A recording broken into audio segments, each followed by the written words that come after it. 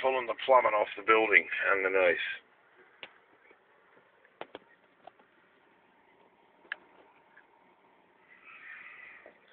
Just outside Torrumbarry in Victoria, just on the outskirts of Echuca. Which actually means the meeting of the waters.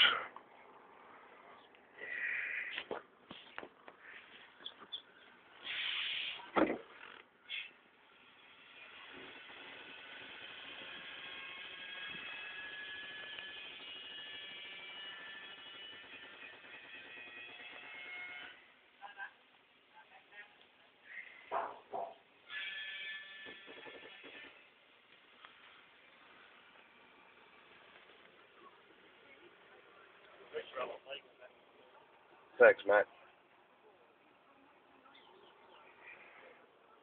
Okay.